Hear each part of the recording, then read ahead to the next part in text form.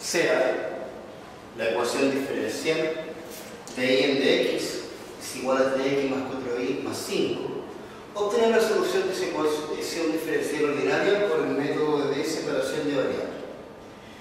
Lo primero que vamos a hacer es hacer una sustitución y vamos a decir sea 1 igual a 3x más 4y más 5.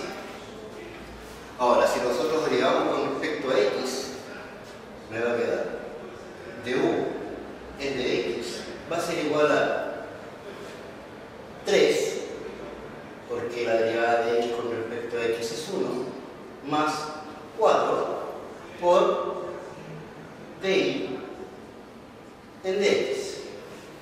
Entonces lo que vamos a hacer ahora es despejar el di en dx y reemplazarlo en esa expresión. Entonces me va a quedar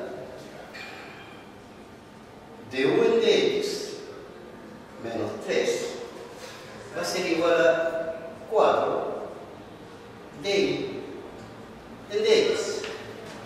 Si multiplicamos por un cuarto, vamos a obtener un cuarto de u de x menos 3 cuartos va a ser igual a d en dx. Entonces, d en dx, ¿qué es eso? Lo vamos a reemplazar por esa expresión. Nos va a quedar un cuarto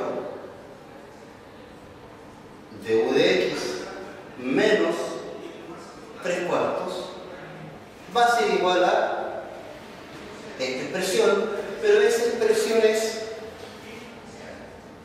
u. Ya, ahora vamos a ordenar.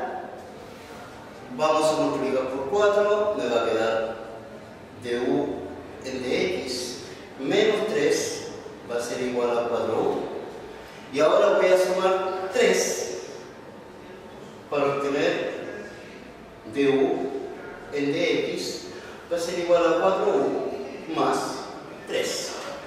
Y ahora el dx lo vamos a poner en esta posición. Se me va a quedar du du va a ser igual a 4u más 3 en dx. Pero como tenemos esta expresión que contiene u y allá tenemos el de u, entonces tenemos que multiplicar por 1 partido por 4u más 3 para obtener du partido por 4u más 3 va a ser igual a dx. Ahí tenemos las variables separadas, por lo tanto podemos integrar. Al integrar me va a quedar du 4 más 3 va a ser igual a dx. Calculamos la integral. Esta integral es igual a un cuarto logaritmo natural de 4 más 3 y esta integral de acá va a ser igual a x y a eso le sumamos una constante. Pero el u tiene este valor.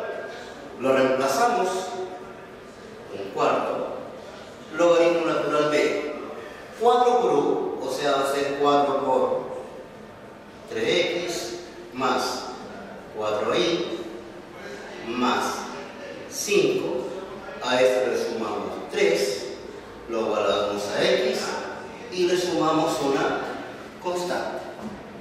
Finalmente nos va a quedar un cuarto logaritmo natural de 12x más 16y más 20 más 3, 23 y eso va a ser igual a x más la constante.